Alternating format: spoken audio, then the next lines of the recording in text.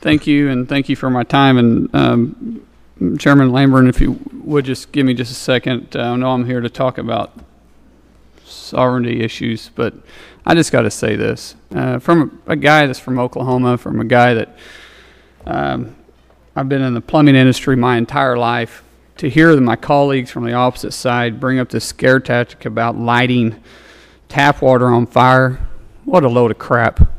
I, I'm just going to say it as plain as that, and it's shameful that they use such scare tactics. Um, uh, it's funny how people comment on things that they don't have the, no offense, but a, a clue. Uh, and so I, I'm just, I, I know that's stepping away, but Chairman, sorry. Had to get that off my chest. I feel better now. Uh, so, anyways, uh, my staff is probably just really upset at me right now. I may not be invited back to this committee. All right. Uh, anyways, Chairman uh, Lamborn, thank you for letting me uh, join the subcommittee today.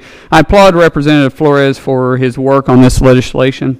In Oklahoma, we know a thing or two about fracking technology. We have been safely and effectively fracking since 1949. In fact, we have 193,000 current active wells in our state. As a member of the Cherokee Nation and someone who advocates for our tribes, I do have some concerns with this bill in its current form.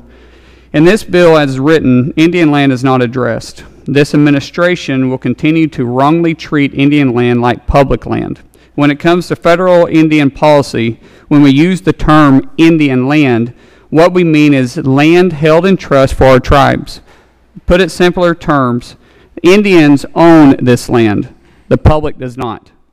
In this proposed hydraulic fracking rule, however, the administration treats Indian lands as though they're held for the benefit of the public as well as Indian beneficiaries.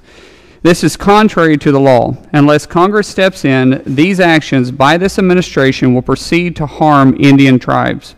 Treating tribal land as public land is insulting and a clear violation of the agreement between our sovereign nations.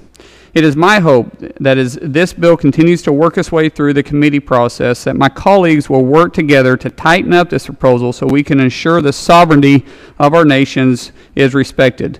Mr. Chairman, I yield back.